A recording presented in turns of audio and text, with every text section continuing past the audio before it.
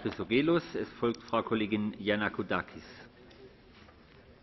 Thank you. Last year, sugar prices hit a 30-year high.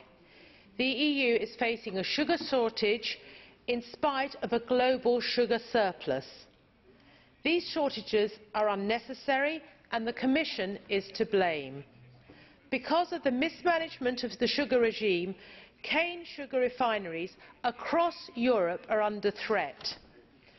These refineries provide more than 4,500 jobs in some of the poorest parts of the EU. Cane refineries are forced to pay a higher price for their raw materials than their competitors.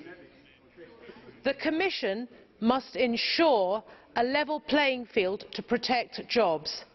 The Commission must include sugar cane in its strategy to address this artificial shortage.